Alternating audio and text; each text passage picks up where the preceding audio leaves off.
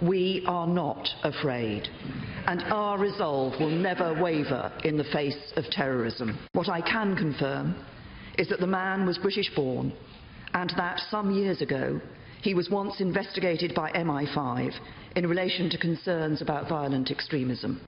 That was British Prime Minister Theresa May speaking in Parliament just a few hundred feet from where terrorist Khalid Masood murdered a police officer and several bystanders in a violent rampage yesterday.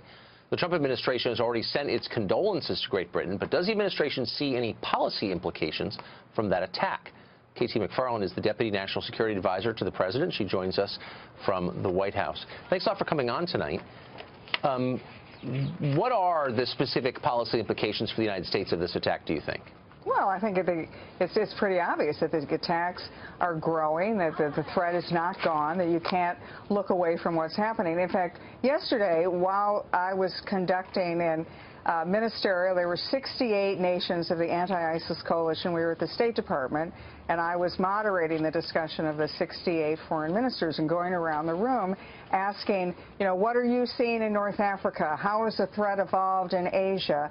What are the efforts we're making to shut down terrorist finance? What do you see happening with foreign fighters returning from the battlefield in Iraq and Syria to the homelands? And as we were going around the room talking about it, we got word that there were the attack in London. And so the Foreign Secretary of Great Britain, Boris Johnson, who was sitting right next to me, turned to him and said, very much clear of what's happened in the world today is this is getting worse. It's not getting any better. And he said, well, we, the British people, you know, we have had attacks like this before. We may have them again, but we are resolved. And the same um, sentiments that the Prime Minister May said today, which is that they are not going to be cowed by this, and we, the Western world, see this as an affront, an attack against all civilization, and we stand united. And that's, you know, the good thing about it, not that there's much to say that's good, but that there was a 68 member coalition, 68 nations, which are standing up and saying we are going to work together in every way we can to defeat this and to destroy radical Islam right. and to destroy ISIS and everything that follows.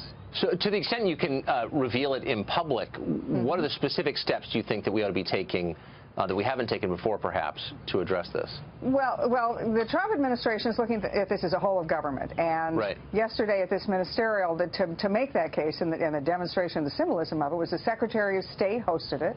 I'm from the National Security Council. I ran the ministerial. The Secretary of Defense, Secretary Mattis, was there and spoke as well. And we had all of the senior cabinet members there, Secretary of the Treasury, Secretary of Homeland Security. So I think the policy implications are that it's an immediate threat. It's something that the president is considering. We have uh, Secretary Mattis has just given to the president a comprehensive plan to deal with radical Islam, but also with ISIS in the region of Iraq and Syria. And it's something that the President Trump understands it's not just going to be some sanctions. It's not just going to be a little effort in one part of the world, but it's going to be a broad and comprehensive effort, not just with the United States, but with our allies. Right. And radical Islam threatens us not only in the U.S. homeland, but throughout the world. So I have to ask you about Susan Rice, who mm -hmm. occupied a job not so different from yours, and she wrote a piece recently in the Washington Post scolding the Trump administration for its mm -hmm. misuse of language, for in effect its lying to the public. What was your response to that?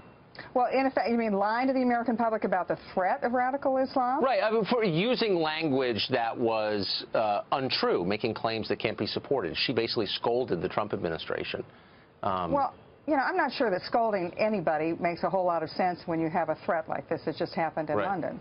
Uh, it's the times for scolding and identifying problems and wringing our hands, it's over, whether it's in dealing with North Korea or whether it's dealing with the radical Islamist threat. The Trump administration and President Trump himself has made it very clear that we're not just going to talk about stuff and identify problems, but we're actually going to have some solutions.